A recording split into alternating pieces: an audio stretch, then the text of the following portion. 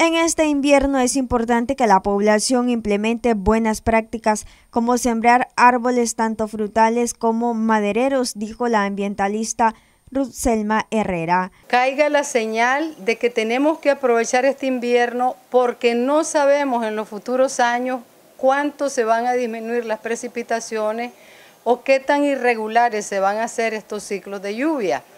Si tenemos agua, empecemos a reforestar en el campo y en la ciudad, los predios de los vecinos, no importa de quién sean.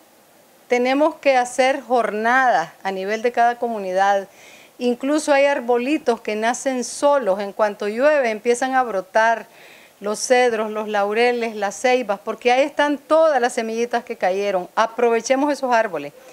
Pero también plantemos árboles frutales, plantemos una cantidad de árboles de rápido crecimiento, como es la moringa, ¿verdad?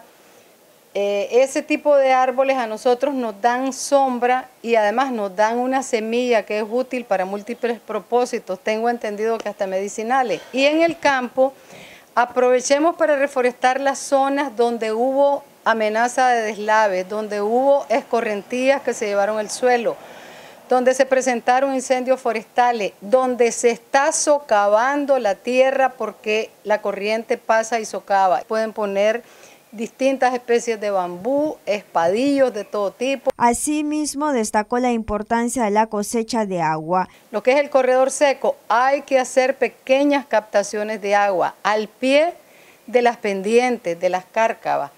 Hay que hacer pequeñas área donde se reserve agua para los animales domésticos, hacer pozos de infiltración de agua, porque todo eso va a permitir que la tierra esté más húmeda más meses.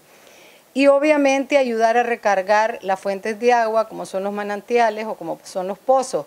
Si no hacemos obras que detengan la velocidad de las corrientes, las corrientes se van rápido, la infiltración, la absorción del suelo es menor. Entonces nosotros estamos desaprovechando esas lluvias generosas que tenemos.